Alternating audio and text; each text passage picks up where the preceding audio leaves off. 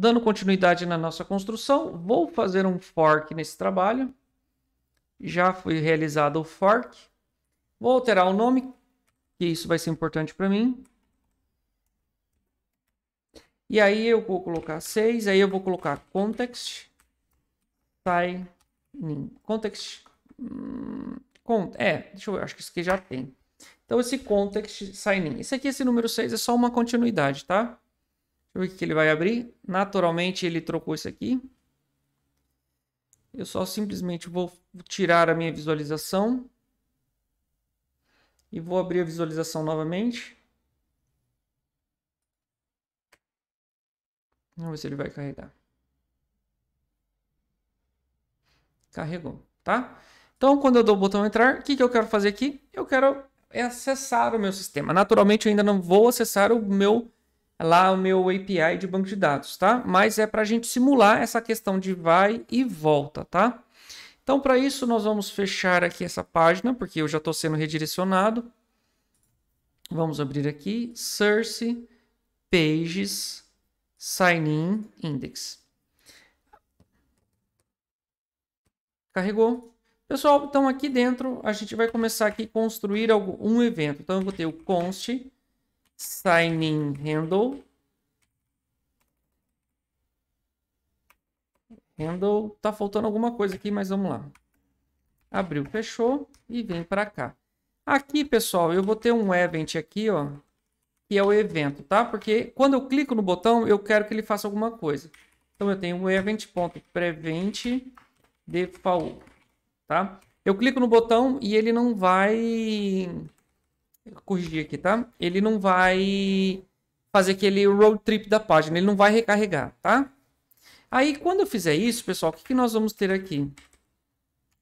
É, eu vou ter aqui o seguinte, eu vou fazer um import, a mesma coisa, do meu from ponto ponto barra ponto ponto barra lá do context a gente tem que puxar, tá?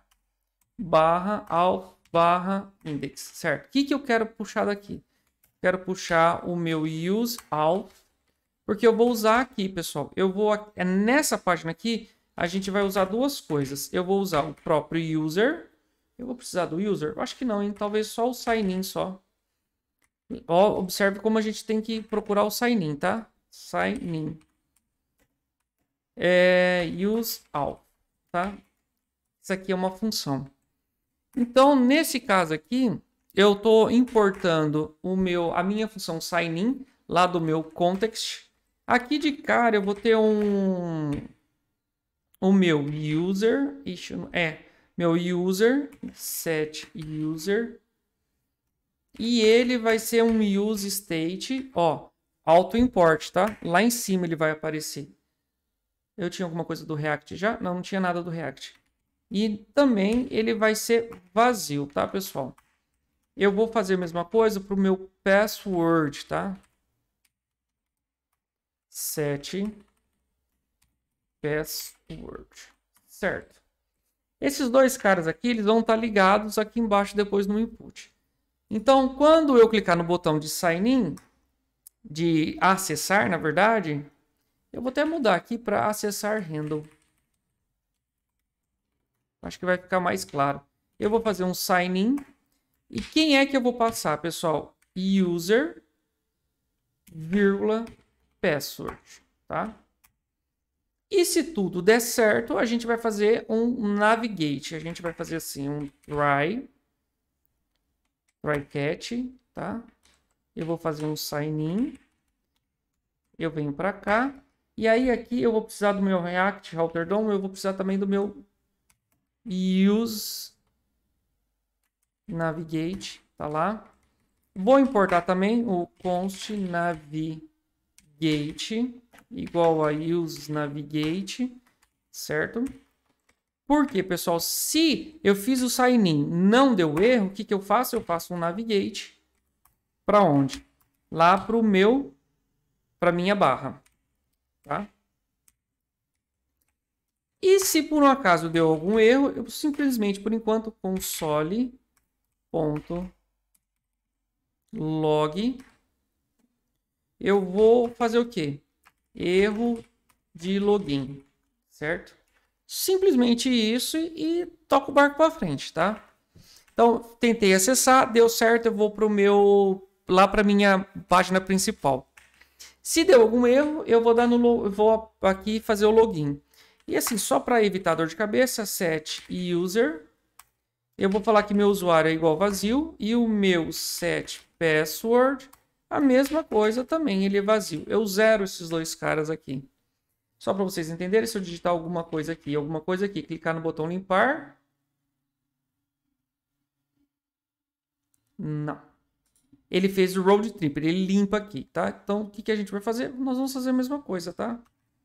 Eu vou fazer um const, é o comportamento padrão dele, né? Limpar handle. Eu simplesmente vai ser igual a... Ele não tem nenhum parâmetro. Ah, não, tem sim. Ele tem um event também para a gente fazer o... Tá? Aqui, event ponto prevent default. Salvou. Então, aqui embaixo eles não estão é, não estão conectados. Vamos conectá-los. Um clique.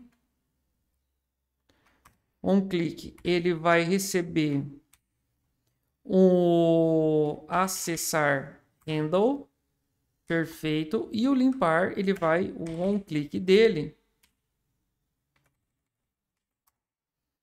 ele vai receber o limpar handle, certo? Vamos testar?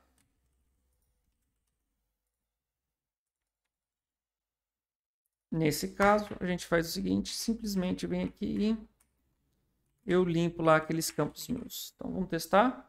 Limpar. Opa, ah, tá. Ele não, não limpou porque eu não liguei aqui, tá? Então, vamos ligar. Value user certo? Tá vendo? Porque o primeiro eu vou ligar no usuário e o onChange dele vai ser igual a mesma coisa. É, event vai ser set user abre event.target.value certo? A mesma coisa, só que para o password nós vamos fazer aqui embaixo. Salvou. Só que no lugar, copiei e colei, tá? No lugar de ser user é o meu password. E aqui no lugar de ser user é password. Vamos testar? Digita alguma coisa. Opa! Salvou.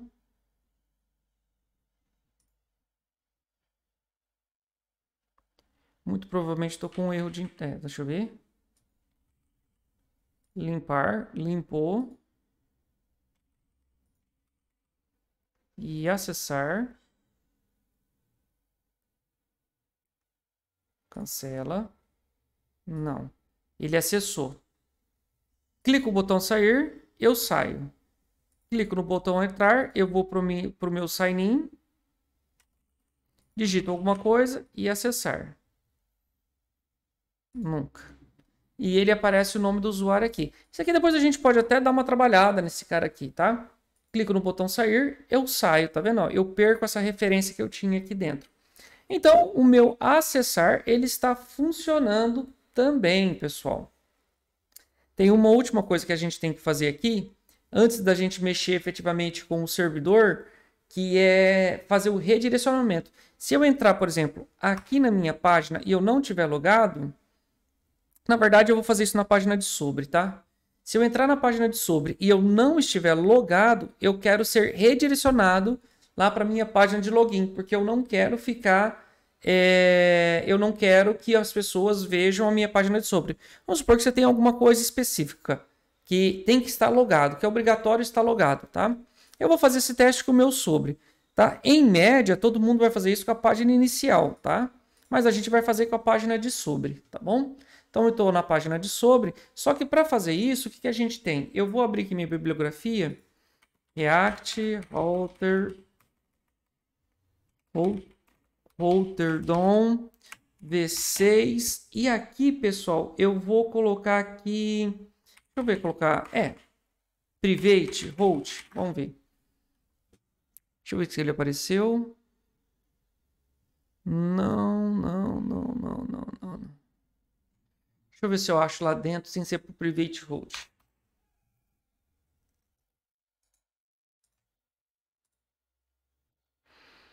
Uh, history, memory, native router, router static, link, outlet host. Não. Deixa eu ver aqui se ele tem redirect. Opa. Ctrl F. Redirect. Não, não tem. Deixa eu achar a bibliografia que eu quero aqui, pessoal. Eu já volto com aqui. Aqui dentro da própria bibliografia, pessoal, o que, a gente tem? Ele está fazendo algumas explicações, né?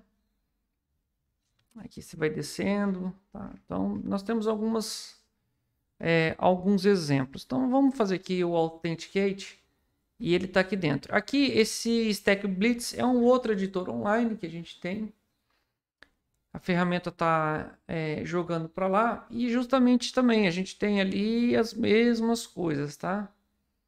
Ele está fazendo algumas instalações, tal, tal, tal. Tá aí, tá vendo? Ó, ele vai fazendo sign in, sign out. Tá, função, ó, use auth, auth status, tá? Tá aqui, sign in. Vai ver que nós temos as mesmas coisas. O que me importa aqui, pessoal, é esse required auth aqui vocês precisam entender de onde que ele vem. Esse aqui está no tipo é, em TypeScript, tá? Mas não está muito difícil da gente trabalhar não. O importante é que esse cara aqui, quando a gente for fazer ele, nós vamos utilizar ele de uma maneira que assim, é, que ele vai exigir a, que o componente é, trabalhe a nosso favor no sistema de autenticação, tá? Então, o que, que eu quero aqui? Então, eu vou copiar esse required aqui. Ou, oh, perdão, é required alpha, tá certo? Eu vou copiar ele. Vamos lá para o nosso projeto. Esse projeto aqui pode fechar, eu acredito. Eu vou criar um novo componente aqui, tá? Então, eu vou criar um novo componente. Require. Opa! Alpha. E dentro desse require alpha. Opa, de novo. Aí criei um arquivo, calma lá. Delete. Aqui eu vou criar uma pasta. Require all. E aqui dentro eu vou criar um novo arquivo, que eu vou chamar de index.js. E aqui eu posso colar. Aqui nós vamos ter um export. É... Eu posso até deixar um export de fun function required, tá certo? Esse cara aqui a gente não vai utilizar, que isso aqui vem do TypeScript. Ele está dando erro do use all. Então, para isso a gente vai fazer o nosso import. Ah, eu vou importar o meu use all da onde lá do meu ponto ponto barra ponto ponto barra context barra all barra index, certo? Use location, pessoal, ele vem lá do meu é, React Router DOM. Então, React Router DOM.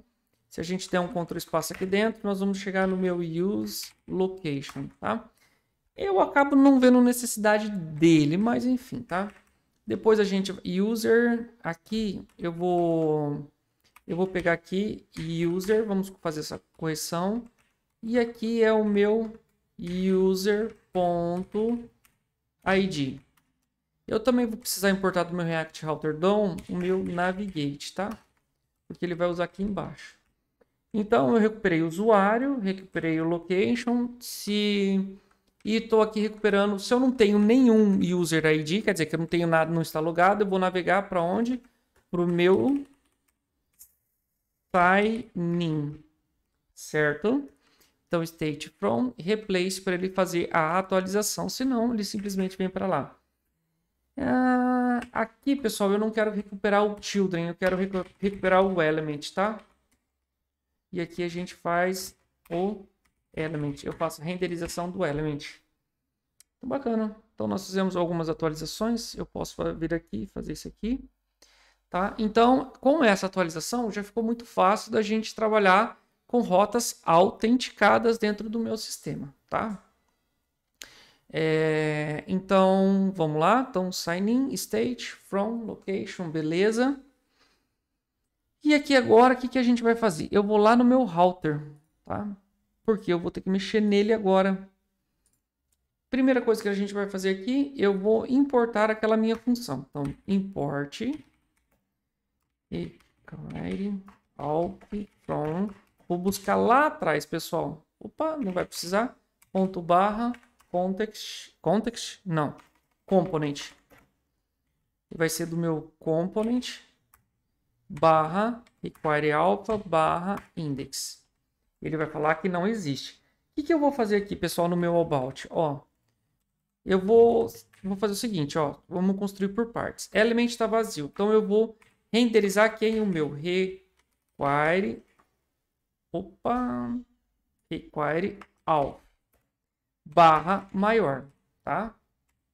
Tá lá. Bom, como eu não tenho nenhum usuário autenticado, por isso que ele já mostrou ali, a mudou minha renderização. Ele vai ter um element igual chave. Cuidado que eu tenho que colocar a segunda chave aqui, tá? O que, que eu vou renderizar caso eu entre na rota e não esteja autenticado? Ele vai renderizar, ó, o meu about barra maior, tá? Então, tá lá. Então, se eu tentar entrar no meu About, é... eu vou, eu, eu, sim, eu tenho que estar conectado. Então, se eu digitar alguma coisa no usuário, alguma coisa na senha e acessar, e for lá na pasta sobre, eu consigo, tá vendo? Eu estou na pasta sobre. Se eu sair, eu volto para a página sign in, tá? Porque eu estava na página sobre. Então, se eu vim para cá, venho para cá e acesso. Estou na página de início. Se eu sair, ele continua no início. Mas se eu clicar no sobre, eu sou obrigado a me conectar no sistema, conectando no sistema e acesso, tá? E vou lá para a página de sobre, tá? Tem como a gente fazer aqui os nossos redirecionamentos, tá? Mas, como nós estamos com 17 minutos, né, eu simplesmente vou deixar assim como está. Em uma outra oportunidade, a gente trabalha essa questão. Então, para, ir, para essa aula de hoje, era isso. Até mais, galerinha!